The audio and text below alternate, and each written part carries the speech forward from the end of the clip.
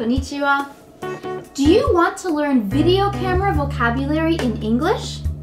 My name is Jen, and today we're going to be learning about vocabulary for video cameras. I have 10 verbs and 10 important nouns coming up. So, if you want to use a video camera, there are two very important things that you need to do before you can start using a camera.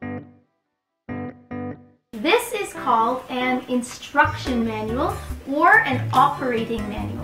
It will tell you how to use the video camera. This is very important and you should read it before you start to use the camera. Here we have a power cord with an AC adapter. So you will plug this end into the wall. This is the plug.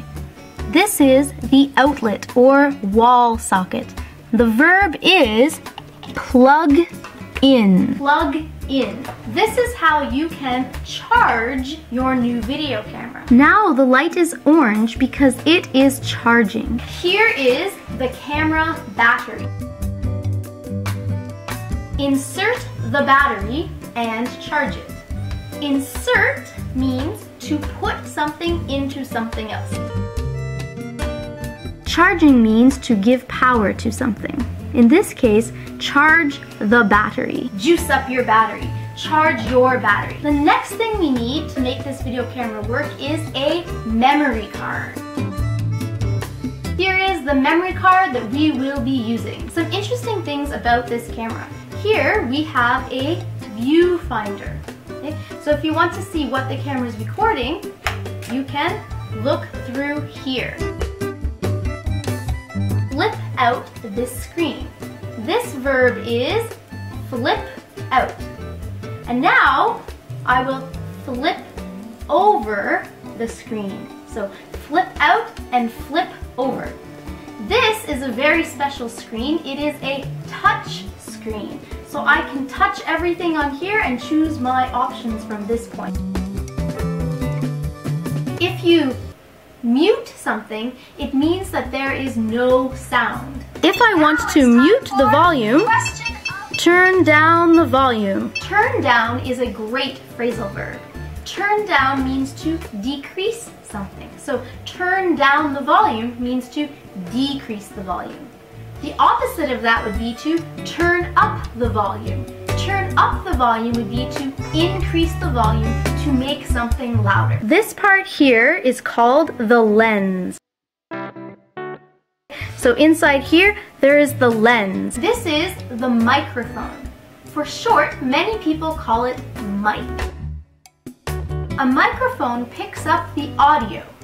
Audio is another name for sound. This particular microphone is a five-way surround sound microphone. If I don't want to hear the sound of the person who's recording the video, I can push this button.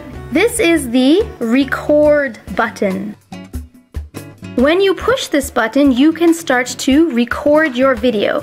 Re record means to capture your film. On the very bottom of this camera, you can see there's this hole here.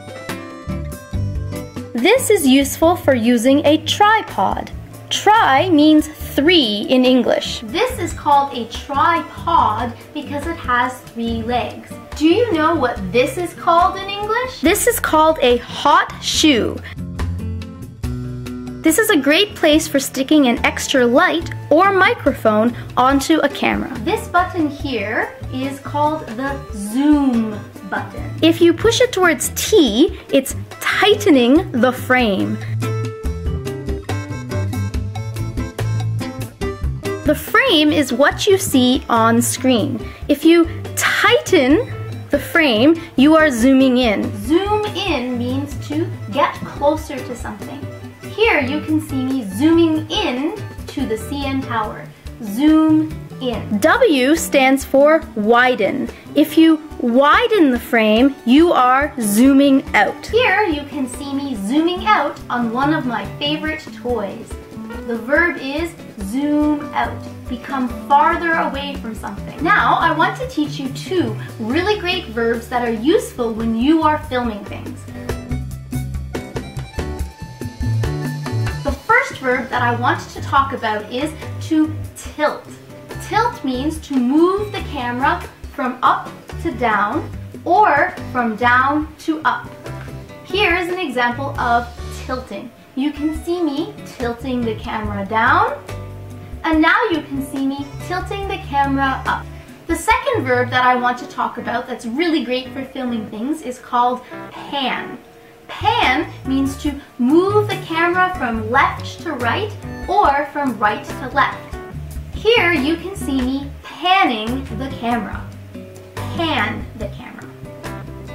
USB cable. One end will connect into the camera, the other end connects into the laptop.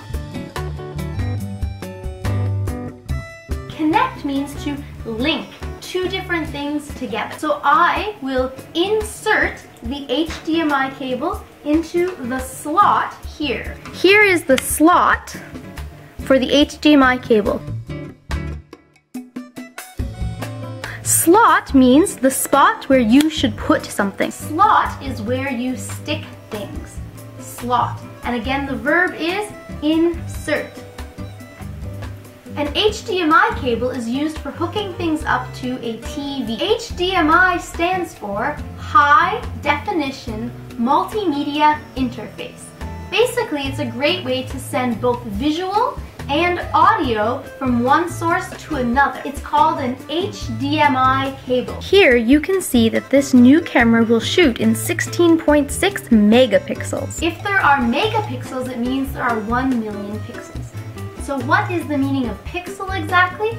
This is a way to measure the quality of images and graphics.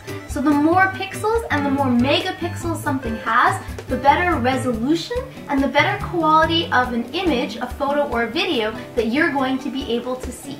So in the future, I hope you can look forward to better quality images from Jen Studio due to this camera. For more information on this camera, please look at the link in the description below. So today, you learned over 10 verbs and 10 nouns to help you describe video cameras in English. And now it's time for question of the day. Today's question is, have you ever recorded a video? And if so, what did you use to film it? Let me know in the comments below. Nina, thank you. Gambatte ne. Johnny!